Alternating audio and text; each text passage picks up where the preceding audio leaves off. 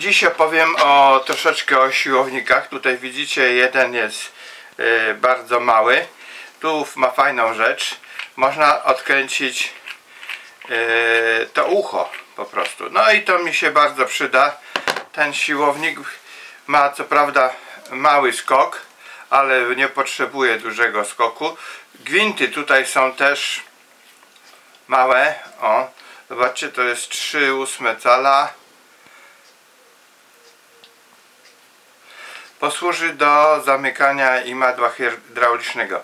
Początkowo miało być to siłownik do uparki, no ale w tej chwili patrząc z perspektywy czasu, co ja mógłbym za pomocą takiego siłownika upać? Nic, żadne klocki takie, myślę, że 100-150 to by było maks.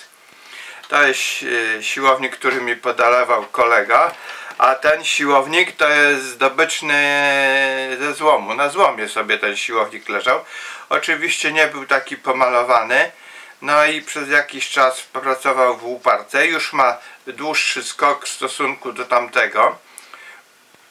Myślę, że około 150 ma ten siłownik. Może 170, nie wiem ile. Tutaj są gwinty grubsze. On był na złomie razem z tymi korkami zabezpieczającymi.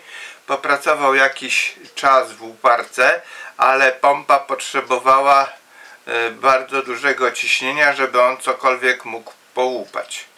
No i tutaj jest kolejny siłownik, to jest mój najnowszy nabytek. Waży około 10 kg. E, no, będę musiał tutaj sobie, jak to się mówi, tutaj jest zabezpieczenie chyba do, przed wykręceniem, wyjąć ten kołek i potrzebuję zdjąć to ucho. Ten siłownik ma skok 200 mm także no taki potrzebowałem i taki sobie kupiłem. I będę go tutaj wszystko mocował. Tutaj są zabezpieczone e, gwinty żeby się nie dostał brud przed założeniem. No to także w zależności od tego jaki potrzebujemy taki kupujemy. Także sobie wyobraźcie w uparce mam dwa razy dłuższy skok tam jest skok 400 także no tamten jest jeszcze cięższy od tego. No tamten doskonale działa tam będzie zmieniana pompa.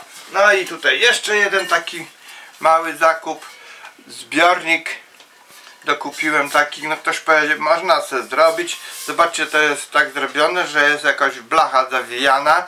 Tu po środku idzie spaw. Jeden, jeden otwór, drugi otwór gwintowany. No ten zbiornik kosztował około 80 zł, coś tam, coś tam. No ale widać, że to jest jakaś ręczna robota. Chyba ktoś się uczył spawać. To nie jest zbiornik ciśnieniowy. Także no tylko, żeby aby nie wyciekał olej. No także dziękuję za oglądanie, za udostępnianie i zapraszam na kolejne filmiki.